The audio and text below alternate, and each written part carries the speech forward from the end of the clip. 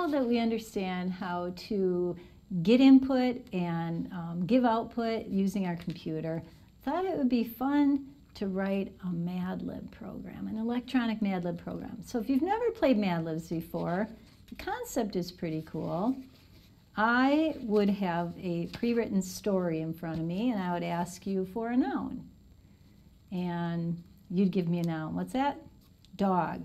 And I'd write it down. Then I'd ask you for a verb and you'd give me a verb. Run. And I'd write it down.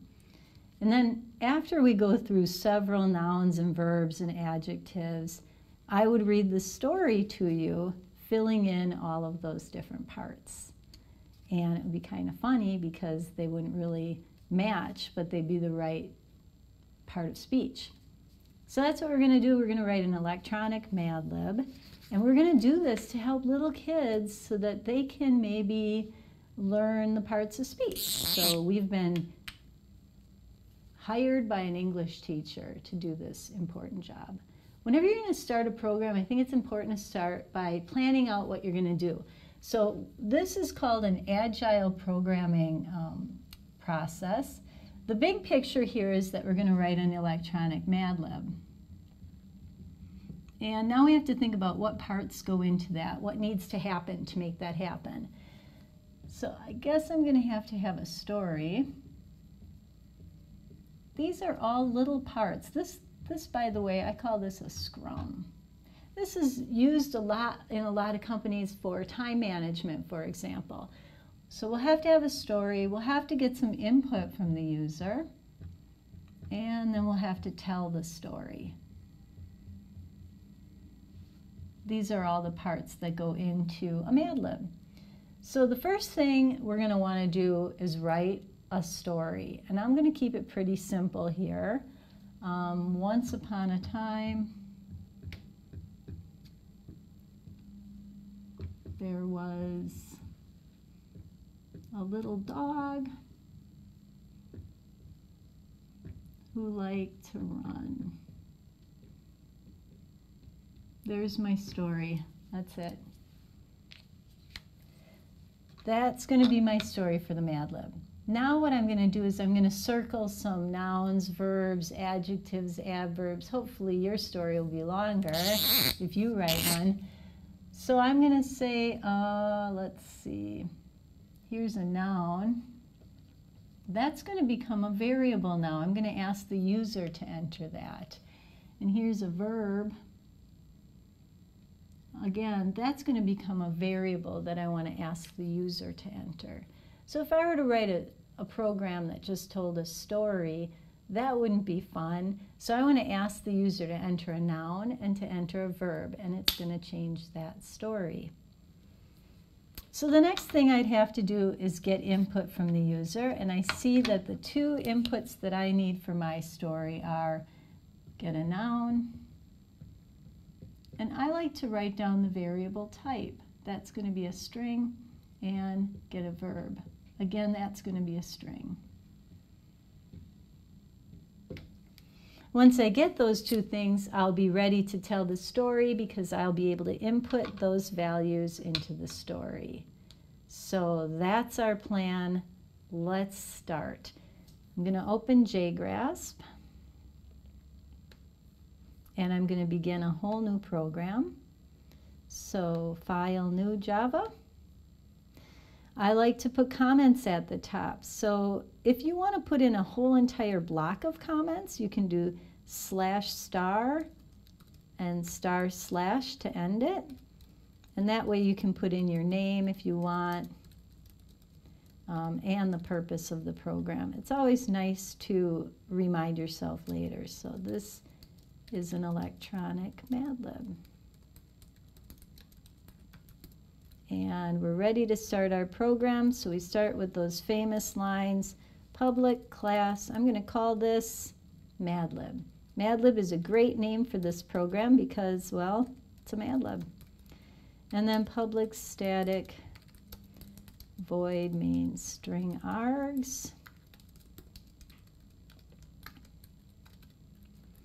Okay, now, I remember I need two variables, and the reason I know th that is because my input says two variables. I need a um, noun and I'll need a verb.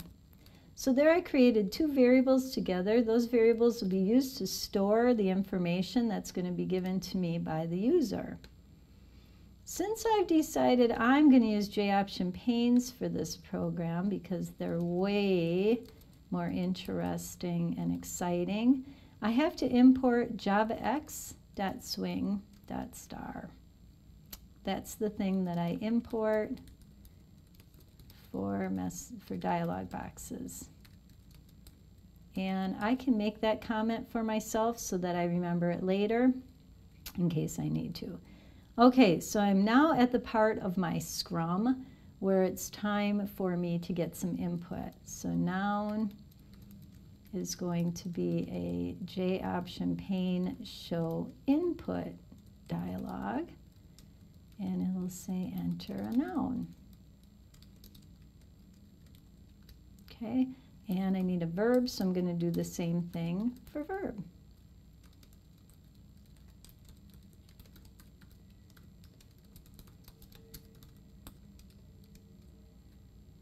At this point, I'm going to stop programming it. I'm going to save it. We've all been there. Notice how it's called madlib.java. So all my brackets must be in the right place. I'm going to delete that white space and I'm going to run it. When I run it, I see enter a noun. I'm going to enter ski and enter a verb. I'm going to enter um, jump. And right now nothing happens because I didn't tell anything to happen. So all I've done so far is the input section. Now I have my story, I have it written, handwritten. If I wanted to print out my whole story, I would do a big old JOption pane show message dialog and null is the first parameter. If you remember my story was once upon a time there was a little dog who liked to run. That's the whole story. But it's not using any of my inputs. So if I run this program, even though I enter a noun, I will enter book for my noun, and I will enter um, jump for my verb it still tells the story once upon a time there was a little dog who liked to run. So it's not using my variables. So because I want my variables to be used, like the noun to be used in this particular spot, I'm going to delete that word dog.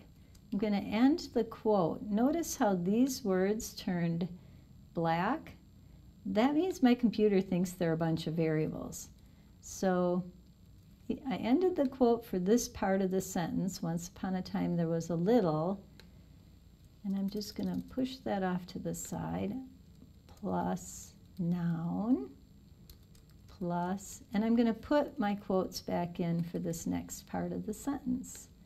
So once upon a time there was a little, whatever the user enters now for that noun, who liked to, and I don't want it to say run, so I'm going to delete that word and I'm going to put in plus sign there, verb. Now let's take a look at my story.